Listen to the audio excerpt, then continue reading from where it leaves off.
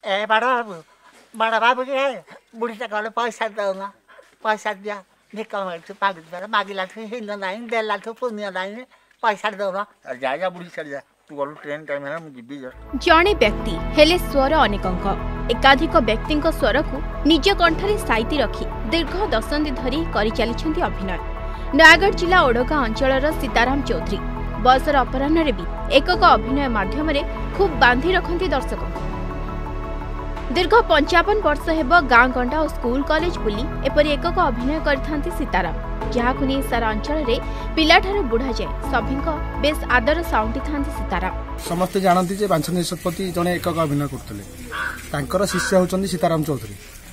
ସିଏ ମଧ୍ୟ ବହୁତ ଆମର ଓଡ଼ିଶାର ପ୍ରତି ସ୍କୁଲ କଲେଜ ଆଉ ପ୍ରତି ଗାଁରେ ତାଙ୍କର ଏକକ ଏକକ ଅଭିନୟ ମଧ୍ୟ ଦେଖେଇଛନ୍ତି। ଆଉ ତାଙ୍କ ପାଇଁ ତ ବର୍ତ୍ତମାନ ଆମ ରାବରା ଗ୍ରାମ ପଞ୍ଚାୟତ ଗର୍ବିତ। ସିଏ ଆଜି ରାବରା ପଞ୍ଚାୟତ ତାଙ୍କ ଯୋଗୁଁ ଗର୍ବ ଅନୁଭବ କରୁଛନ୍ତି ଏବଂ ସିଏ ଏକ ପ୍ରଶଂସନୀୟ ତାଙ୍କ ପ୍ରଶଂସନୀୟ ପାତ୍ର ମଧ୍ୟ ସିଏ। ବିଶିଷ୍ଟ ଏକକ ଅଭିନେତା ଗୁରୁ ବାଞ୍ଛାନିଧି ଶତପଥୀଙ୍କଠାରୁ ଏହି ଏକକ ଅଭିନୟର ଶିକ୍ଷା ଲାଭ କରି କୋଡ଼ିଏ ବର୍ଷ ବେଳୁ ଏହାକୁ ଉଭୟ ପେସା ଓ ନିଶା ଭାବେ ଗ୍ରହଣ କରିଥିଲେ ସୀତାରାମ। ସେବେଠାରୁ ଗତ ପଞ୍ଚାବନ ବର୍ଷ ଧରି ରାଜ୍ୟ ତଥା ରାଜ୍ୟ ବାହାରର ବିଭିନ୍ନ ଅଞ୍ଚଳ ବୁଲି ଏଭଳି ଏକକ ଅଭିନୟ କରି ନିଜ ପରିବାରର ଭରଣ ପୋଷଣ କରିଥାନ୍ତି।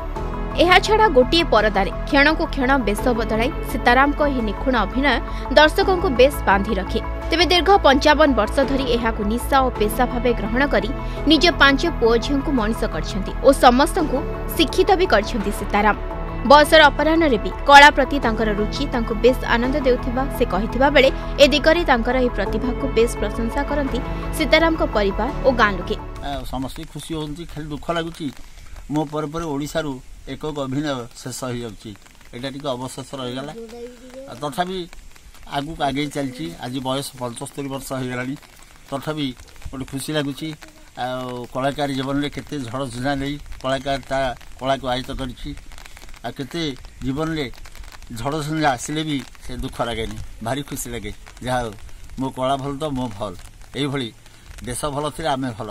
ଆଜିର ଇଣ୍ଟରନେଟ୍ ଓ ସୋସିଆଲ ମିଡିଆ ଯୁଗରେ ଗାଁ ଗଣ୍ଡାରେ ଏକକ ଅଭିନୟର ଆଦର କମି କମି ଯାଉଥିବା ବେଳେ ପରିଣତ ବୟସରେ ବି ଏହି କଳାକୁ ବଞ୍ଚାଇ ରଖିବାରେ ସୀତାରାମଙ୍କ ଏହି ଆଜୀବନ ଉଦ୍ୟମ ବେଶ୍ ପ୍ରଶଂସନୀୟ ନିଶ୍ଚୟ।